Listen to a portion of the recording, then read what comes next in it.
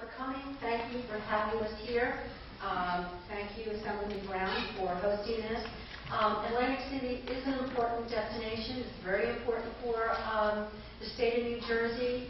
It's a beautiful town, and I'm ready to hop, skip, and a jump up from here Long Beach Island. So uh, the tourism and the importance of tourism in the arts is very, very important, not just to this area, but to, as um, Assemblywoman said, to the whole state.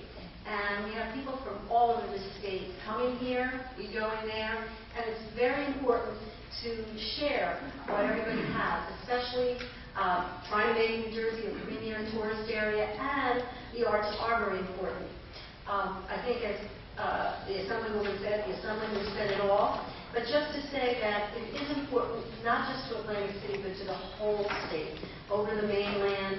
The artists just don't stay here, they're all over, and I think it's great that New Jersey has a great throughout the whole state, and I think we're going to be hearing from them today, and it is important to Atlantic City to, to change its image. It's not all casinos. There's so much here, so we're going to hear that, and New Jersey will become, or I shouldn't say will become, is a premier tourist destination, and will become even a better one with what we see for our artists and for all of what we're doing here today. So thank you all for coming. Most beautiful day as it was a couple of days ago, but it's still a nice fall day here in Atlantic City,